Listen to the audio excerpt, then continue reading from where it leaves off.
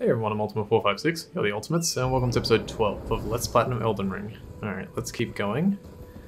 So, we can only go one direction at the moment, so let's do that.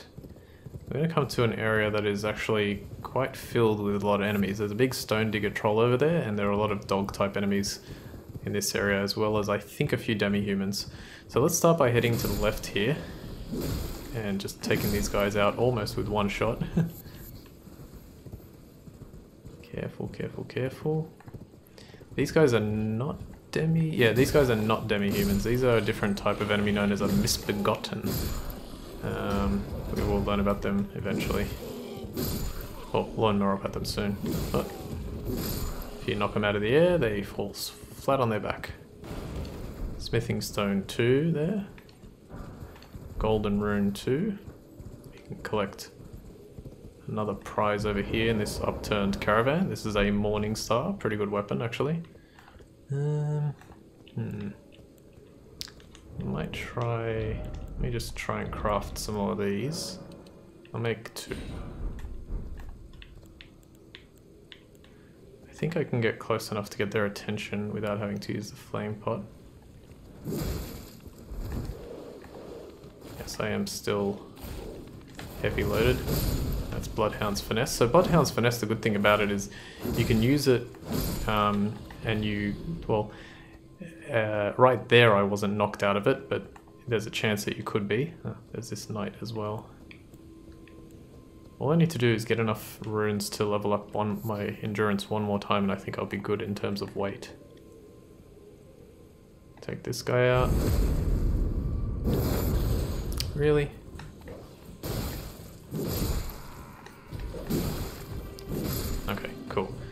All that's left is the Stone Digger Troll. Hopefully I can deal with him. You can use your ash ashes here if you want. I'm not going to. So I always like to critically hit his leg. Watch the bleed. Okay, so he knocks, gets knocked down. Two-handed R2 for a 786. That was a bleed and plus a regular charge attack. 393, another charge, and regular attack. Done. Nice. Wow, 1050 he gave. And how far away? I need 1400. This guy alive? Oh, he is. that guy was like not moving a muscle. Hey, I got my flask back. Alright, let's keep going. Uh, actually, this is the part where I get a little bit confused about where to go. You could have used the Wondrous Physic there as well. Uh, okay, yep. So we're going to go over here. There's a scarab there that we want to get. These ruin fragments, don't worry too much about them. They're not that important if you don't have too many. Ooh, Arteria Leaf. Hiya. Hiya. Beautiful. Ash of War, Mighty Shot. Oh yeah, this happened a long time ago, but uh, I realized that the, the, reason the flail did so well in that um, Limgrave, in those Limgrave tunnels, was because it was a strike weapon as well. I didn't realize that, so that kind of worked out really well. When I started using it, I was like, wait, why is this doing so well? Oh, it's got strike damage. Okay, that guy over there is actually a super boss. Well, not a super boss, but he's, he's a more powerful boss type enemy, enemy, and he only appears during the night. We will fight the one um, in uh, in the previous area. We'll fight the one. There's one here on this bridge too. Uh, a little bit later. I haven't actually got to that in my practice, and I I know he's strong. I just hope he's not too bad. Um, hmm. I want to purchase stuff from this guy, but I also want to level. Let me talk to him. Buying or selling? Okay, yeah, he's got a few good things to buy. He's finally got the Note Demi-Human mobs, which I wanted to get. Oh, he's got the Crimson Amber Medallion. I didn't notice that. Okay, uh, that's fine. Let's leave well enough alone. I really want to level one more time, so instead of purchasing from him, I'm going to try and focus on that. I know I have a lot of runes. I could probably utilize some of those. Yeah, that's probably what I will do. I'll try and level up here in a bit. Uh, hmm. Actually, no, let's do this the smart way. Let's head back over here. I'll get the remainder of what I need, which is 1300, so that's about seven of these runes. So you selected, seven. It's fine, we've got so many now that we can afford to do that. Level up, one point endurance, and fingers crossed that gives me medium load. No, it still gives me heavy load. Uh, what if I do, no, that's heavier. Wow, I'm surprised by that. oh well, I guess no choice but to just keep going and trying to get another point in endurance. Is that really the case? What did I do differently? I only did what I needed to do. I got the three, even the three points in intelligence. Strange. Didn't think it would be... I thought for sure one more point would do it. Damn. Yes. Cool. Alright. Uh, we could defeat those guys over there, but instead let's go up here. You can see up here we have another one of those statues that tells us where a new set of catacombs are. Hey, hooray, I got it again. Oh, you have to be off the horse. Guide and gate, yes, guide and gatekeeper for those returning to the roots. So it tells us that it's down there in that direction, so let's head there. Can't remember what's in this one. I think it's just a regular one with those imp, imp dudes again, which kind of sucks because I hate them. But I guess technically because the flail is strike, I can probably use that. So I'm probably going to try and do that. Oh. and if I use the flail, at least they, uh, I won't be heavy loaded, which is really good. Alright, here it is. Alright, so this one is known as the Impaler's Catacombs. So let's go down here. Get the grace point. And let's change back to the flail. Alright, definitely on medium load now. Let's see how we go with this. Oh yeah, that's right, you. much better. Alright, still three hits, but much better.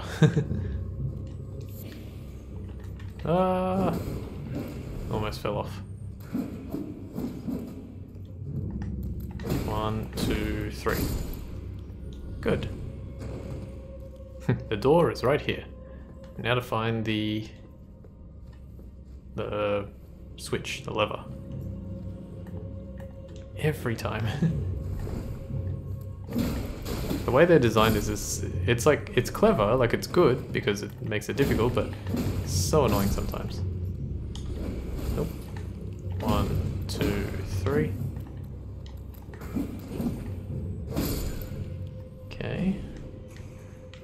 Make sure we pick this up. So one thing I didn't mention about these ghost and grave gloveworts is that they don't respawn. So as soon as you, it's like one of the few materials in this game that doesn't respawn. Like obviously unique weapons and all that kind of stuff that you find in the world won't respawn. But uh, materials, regular crafting materials generally do respawn. These ones, they're upgrade materials and they don't respawn. Same for smithing stones. So uh, actually, let me quickly go back because I think I missed something. No, I didn't. Okay, cool. Let's go this way. And if we go here, we'll notice that the floor rises. And if we don't get off the floor soon enough, we're gonna hit Spike City up there. Wow, the top of that does not look great. so what you need to do is get skewered. Oh, I don't know how I made it out of that. Okay, what you need to do is you need to go onto it, let it rise, and then roll down below. See, this drop, to me, is like, if, if it had been another, I don't know, like a centimeter longer, um, it would have been like, alright, you're going to take damage. Ghost Glovewort 2. Yeah, we've got these guys. Alright, with these guys, we can actually use Bloodhound's Fang, but I'm actually going to try something. I want to know if these guys are weak to Holy, because if they're weak to Holy, then we can actually use the Great Epee. So here's the Great Epee. Let's use Sacred Blade. Can't really tell. Okay.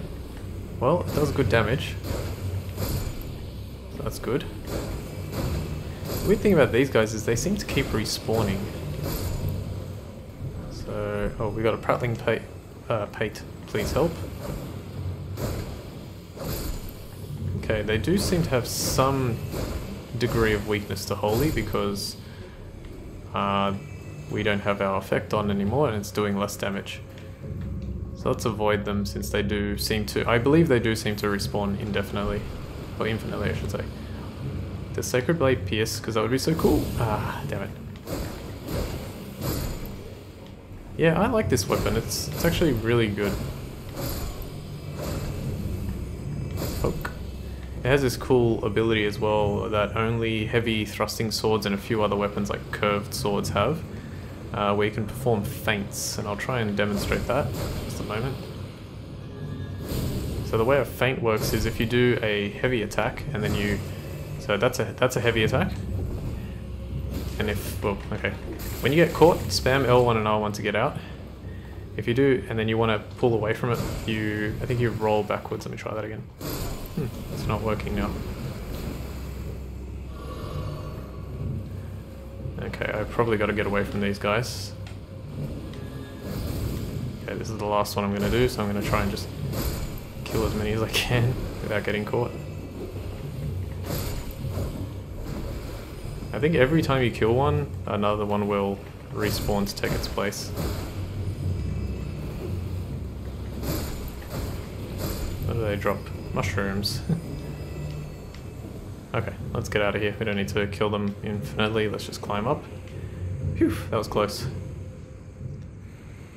But they, they seem to have some degree of weakness to Holy, which is good. Okay, we're almost there. Let's pull the lever. Going pretty well for time. Somewhere, so let me try that. Ah!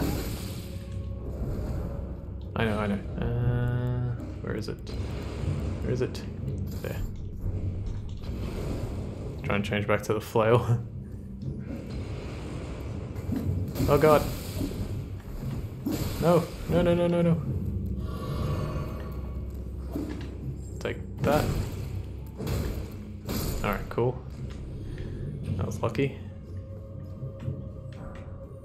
And what I like about this dungeon is that it puts you right back here, right next to the entrance, but I am going to recover my FP and flasks at the grace point. Uh, hmm, I'm surprised I wasn't able to perform that feint. Uh, let me try it again real quick. So, it's this one, then you do, hang on. That's strange. I definitely remember. It's like perform a dodge.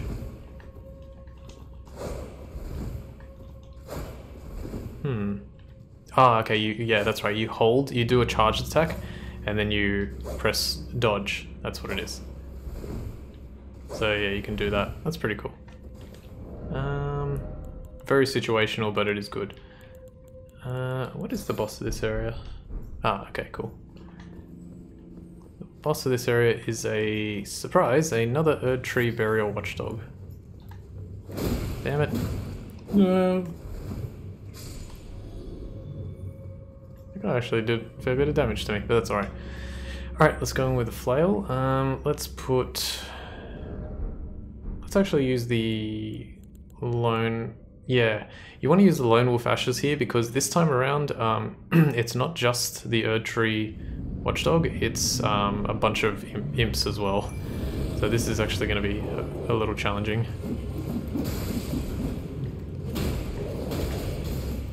Please kill this one. Nice. So just try and avoid the watchdog. Get away, get away.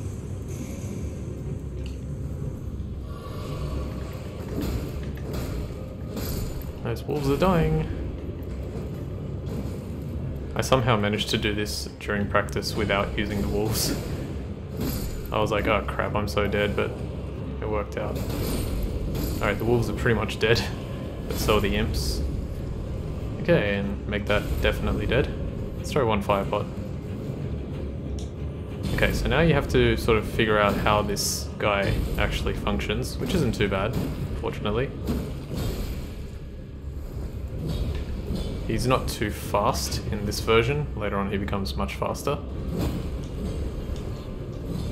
Okay, watch out for that. Do a charge attack. You can break his uh, poise if you, if you hit him hard enough. It is fairly hard.